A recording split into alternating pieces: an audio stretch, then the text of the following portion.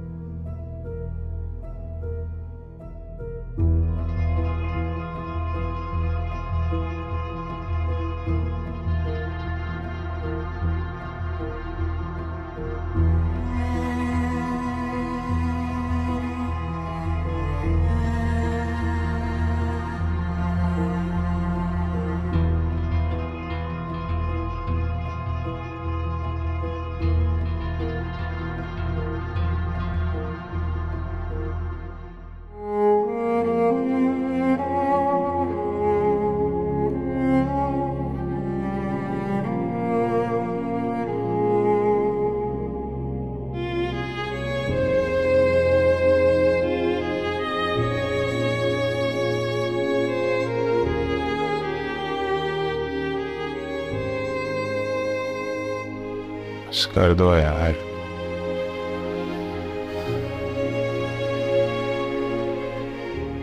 कितना रोगी कितना ढोंग करोगी? मेरे अब्बू को हार्ट अटैक आया है। तो इसमें कौन सी नई बात है? इस उम्र में हार्ट अटैक ही आता है और क्या होता है? वो जैसे थे बिल्कुल ठीक जी रहे थे। ये सब आपकी वजह से हुआ है। आपने उन्हें मौत के मुँह में पहुँचा दिया है। क्या बकवास करे जा रही हो तुम?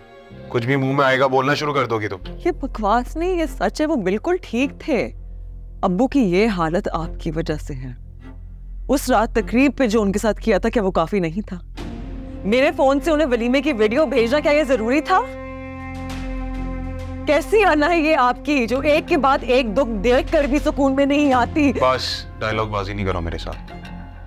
हो गई होगी गलती। भूल जाओ बात को। खत्म करो। अगर ये आपके अबू के साथ हो रहा होता तब भी आप यही बोलते हैं। मेरे डैड को क्यों बीच में ड्रैग कर रही हो तुम? हाँ मेरे डैड का तुम्हारे बाप से क्या मुकाबला? माँ बाप सबके बराबर होते हैं। साहब। जबान ना बंद कर लो। बिल्कुल चुप। एक लफ्ज नहीं बोलना।